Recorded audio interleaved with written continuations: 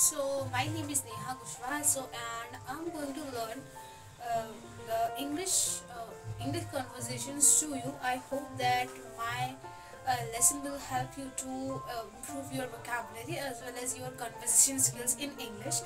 So we have just a chapter that's named I am. So we are going to just discuss first the the things which are written here and then we will discuss some uh, Hindi and English sentences which will help you to improve your conversation skills in your daily life. So let's just first uh, let me let's just come on the first chapter that is lesson number 1 I am. I am means main hu ya main. So let's just start how can we introduce ourselves to a person who is very uh, who is very unknown to us. So let's just start from here. So we'll introduce first our first name that is Neha, middle name that is Kumari, and the last name that can be anything. My name is Kushwa, so that's why I written here Kushwa.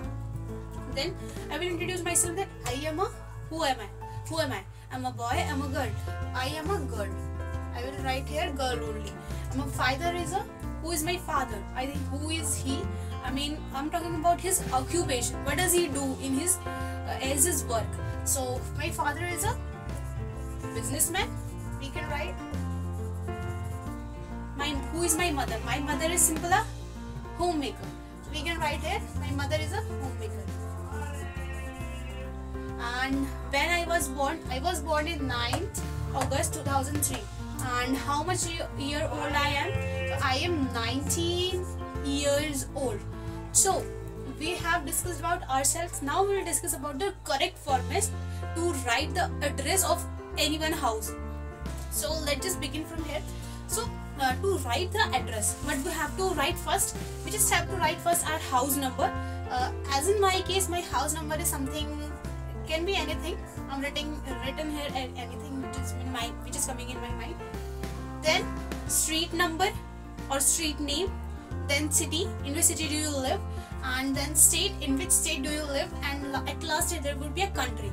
In which country do you live? Like uh, in our country, in our case, we live in the, in India and our and of course for for our city that I live in Sonia Vihar so I I will write here Sonia Vihar and state what about state we have no any state we we all know that we lives in Delhi and Delhi is not a state it's a union territory so we will write here at the place of state that what Delhi so this is all about the chapter I am so uh, yeah so we'll discuss some sentences uh, of Hindi uh, to English like तुम कैसे हो so how are you and uh, yeah